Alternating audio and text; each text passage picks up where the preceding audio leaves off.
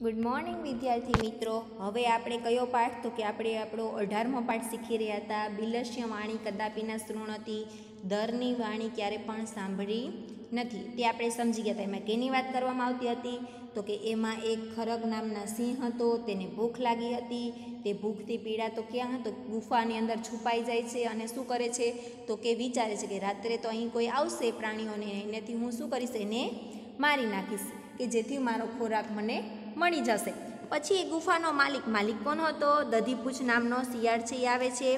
અને તેને જોયું, શું જોયું હતું કે સિંહના પગલાં છે, એ ગુફાની અંદર જતા હતા, પણ બહારે આવતા દેખાતા ન હતા તો એવું વિચારે છે કે હવે તો હું મર્યો. જો હું અંદર જઈશ તો સિંહ છે હમણાં મને પકડી પાડશે. એમ વિચારીને શું કરે છે? તો કે એક વિચાર આવે છે ને કે હું શું કરું? તો કે મોટે મોટેથી અવાજ કરવા લાગે છે કે, હે દર હે દર તું મને યાદ નથી, આપણે શરત લગાવી હતી કે જો તું મને બહારથી હું આવું ને તું મને બોલાવીશ નહીં તો હું ક્યાં? તો કે બીજી ગુફામાં જતો રહીશ. આપણે જે પહેલાં બે પેરેગ્રાફ જોઈ ગયા હતા, આ શું હતું? એનું આપણે રિવિઝન કે હવે પછી આપણે પાઠ ચાલુ કરીએ તો આપણે એટલી ખબર હોવી જોઈએ. ચાલો, એના પછીનો પેરેગ્રાફ જોઈએ. પહેલાં શબ્દાર્થ જોઈએ.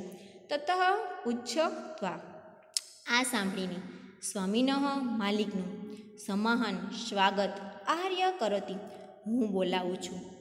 ઇથત્વમ. શું કહે છે? આ પ્રમાણે ઉચ્ચ ગર્જસ્ય ઊંચી ગર્જના, ઊંચી એટલે મોટેથી. હવે જો આપણે ચિત્ર દેખાય છે એ તે તથ એત પૂછત સિંહ અર્ચ્યંત શું કહે છે? હવે આ સાંભળીને સિંહ વિચારી તો એટલે હવે ઓલું જ્યારે બોલ્યો હતો ને શિયાળ કે આ ગુફામાં તું મને બોલાવીશ નહીં તો હું બીજી ગુફામાં જતો રહીશ, તો કે એ સાંભળીને પછી શું? સિંહ વિચાર્યું. નુનમેશા ગૃફા સ્વામી. સદા મહાન્યમ કરોતી. શું કે ન્યૂનતમ એટલે ખરેખર આ ગુફા સદા પોતાના માલિકને આવકારે છે? કે એ તો એમ કે છે, હં, કે આ ગુફા કદાચ સાચે જ એના માલિકને બોલાવતી હશે. પરંતુ મહર્ષ્યંતી કશ્ચિત વદતી, પરંતુ મારી બીકને કંઈ બોલતી નથી. હવે ગુફાનું કહે છે. કે શું કહે છે કે હું અંદર છું ને એટલે આ ગુફા બોલતી નહીં હોય. કે કે નહીંતર તો એ રોજ એના માલિકને બોલાવતી તહમ તસ્ય તહમ અશ્ય આહા ન કરોતી. હું તો હું આને બોલાવું એમ. તો આ પ્રમાણે શું થશે? મારા ભોજનની વ્યવસ્થા થઈ જશે એમ. કે આ સાચે જ રોજ બોલાવતી જશે ગુફા એના માલિકને. પણ આ તો આજે હું અંદર છું ને એટલે બોલાવતી નથી. અને જો હું બોલાવું એને, એમાં બિલ પ્રવિશ્યથી ભોજન કરી શામી ઇથ વિચાર્ય સિંહ. કે એ પ્રમાણે શું કરે છે? સિંહ વિચારે છે કે જો હું એને બોલાવું, એ અંદર આવશે એટલે મારા ભોજનની વ્યવસ્થા થઈ જશે. ચાલો, હવે આપણે આખાનું ભાષાંતર જોઈએ શું છે? હવે આ સાંભળીને સિંહ વિચાર્યું, ખરેખર આ ગુફા સદા પોતાના માલિકને આવકારે છે, પરંતુ મારી બીકે કંઈ બોલતી નથી. હું તો આને બોલાવું. આ પ્રમાણે તે દરમાં પ્રવેશીને મારું ભોજન કરશે કે હું એને બોલાવું? એટલે એ અંદર આવશે ને, એટલે શું? કે મારું ભોજન થઈ જશે. આમ વિચારીને સિંહ એકાએક શિયાળને બોલાવે છે. તરત એને બોલાવવાનું ચાલુ કરી દે છે. કે સાચે જેનો આંસ છે એ બોલાવતો હશે અને અંદર આવે એટલે મારા ભોજનની વ્યવસ્થા થઈ ગઈ. એમ બોલાવવાનું ચાલુ કરી દે છે. એના પછીનો આપણે પેરેગ્રાફ જોઈએ. અનાગતમ આવ્યો. શૈચયમ તે શોક કરે છે. સંસ્થસ્ય રહેલાને જરા એટલે વૃદ્ધ અવસ્થા. બિલસ્યા વાણી દરની વાણી. ન શ્રુતત, સાંભળી નથી કે ન સાંભળી. હવે શું કહે છે એ જોઈએ. સહસા શૃંગાલસ્ય આહન કરોતી કે શું આમ વિચારીને સિંહ છે શિયાળને બોલાવે છે? આવકારતી એટલે બોલાવે છે. સિંહાસ્ય ઊંચ ગર્જસ્ય, સિંહ છે મોટેથી ઊંચે સિંહ ગર્જના કરે છે. પ્રતિવધતી પ્રતિવધતી એટલે પડઘા પાડે છે. મોટે મોટેથી બોલવા લાગી એટલે ગુફાની અંદર હોય એટલે એનો પડઘો બારે પડવાનો છે કે મોટે મોટેથી પડઘા પાડેલો. સહ ગુફા ઊંચે તે ગુફા ઊંચે સાદે, આપણે મોટા અવાજે કહીએ, શૃંગાલ આહ્યતે. કે શિયાળને બોલાવા લાગ્યો. કે મોટે મોટેથી પડઘા પાડીને કોને? તો કે શિયાળને બોલાવા લાગ્યો. એના અન્ય પ્રિય પશુઓ ભયભીત અભવત. એનાથી શું? કે એનો મોટો અવાજ સાંભળીને આજુબાજુમાં પણ ઘણા ગુફાની આજુબાજુમાં ઘણા બધા પશુ પક્ષીઓ રહેતા હોય. ભયભીત એટલે બી જવું ડરી જવું થતું હોય. કે બીજા પક્ષીઓ પણ શું થઈ ગયા? ડરી ગયા, ભયભીત થયા. શૃંગાલ તત દૂર પલાયમ ઇતમમ પઠતી. શિયાળ પણ ત્યાંથી દૂર પલાયનમ એટલે દૂર ચાલ્યો ગયો અને કરતો આ બોલતો હતો. હવે શું? સિંહ જાતો જાય છે આગોને ક્યારેક બોલતો જાય છે. શું બોલે છે આપણે એ જોવાનું અનાગત યહ કૃત સહ ભોજતે ચ ઉચ્યતે યો ન કરોત્યાગત વનત્ર સંસ્થાસ્ય સમાગત જરા બિલસ્ય વાણી કદાપી મેં શૃણોતી. હવે શું કહે છે? કે જે આવન, આવનારું કરે છે તે શોભે છે. હવે આપણી પાસે કંઈ મુશ્કેલી આવી, હવે આવનારું આપણે વિચારીએ એના વિશે તો એ જ સારું કહેવાય. જે ન આવનારું કરે છે તે શોક કરે જો શું કહે છે, જે ન આવનારું કરતો નથી તે શોક કરે છે. હવે કહીએ ને આપણે પહેલાંની એની આફત આવી એને વિચારતા નથી, તો એને શું શોક કરવું? દુઃખ કરવું પડતું હોય છે. અહીં વનમાં વસતા, હવે શિયાળ જ છે કે મને હું અહીંયા વનમાં રહું છું, એને કેટલો સમય થઈ ગયો?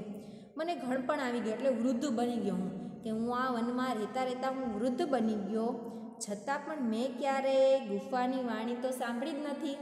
એને તો એમને ખાલી કીધું હતું ને જાણવા માટે કે છે કે નહીં.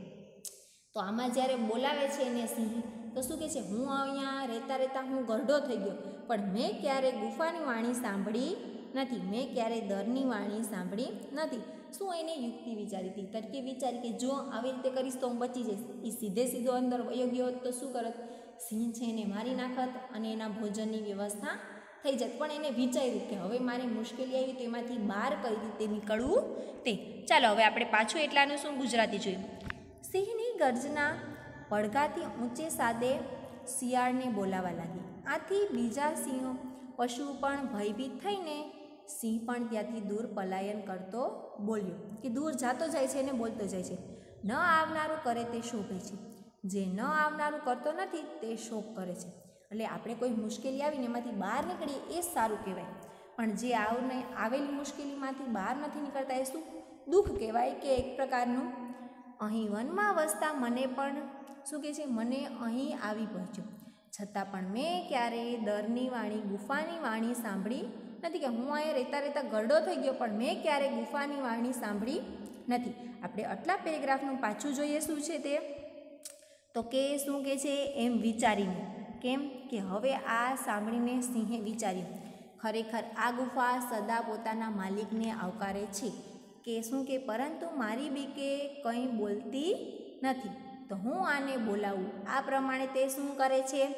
તો કે દરમાં પ્રવેશીને મારું ભોજન થઈ જશે કે જો એ અંદર આવશે, તો મારા ભોજનની વ્યવસ્થા થઈ જશે. આમ વિચારીને સિંહ એકાએક શિયાળને બોલાવા લાગે છે કે મોટે મોટેથી બૂમો પાડવા લાગે છે કે હા કે હું ગુફાનો તને આવકારું છું તું અંદર આવ ને એવી રીતે શિયાળને શું કરે છે?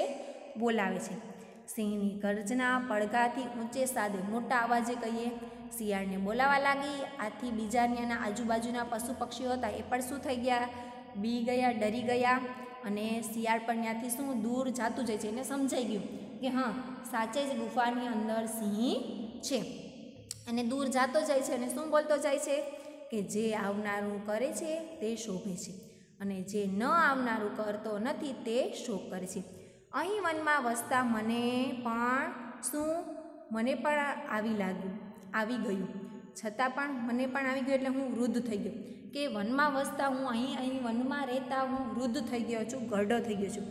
છતાં મેં ક્યારે પણ ધરની વાણી સાંભળી નથી. છતાં મેં ક્યારે પણ સાંભળેલી નથી. ગુફા બોલતી હોય તેવું એ સમજાવવામાં આવે છે. શું આપણે એ પાઠમાં? તો કે આપણે કોઈ મુશ્કેલી આવે તો એમાંથી રસ્તો કઈ રીતે કાઢો એમાંથી બહાર કઈ રીતે નીકળવું? એની વાત કરવામાં આવેલી હતી. આ પાઠમાં આપણે એ સમજાવવામાં આવ્યું હતું કે આપણે ક્યારે પણ બની શકે એવું, કે આપણે કોઈ મુશ્કેલી આવે, મુશ્કેલીમાંથી બીવું ન જોઈએ.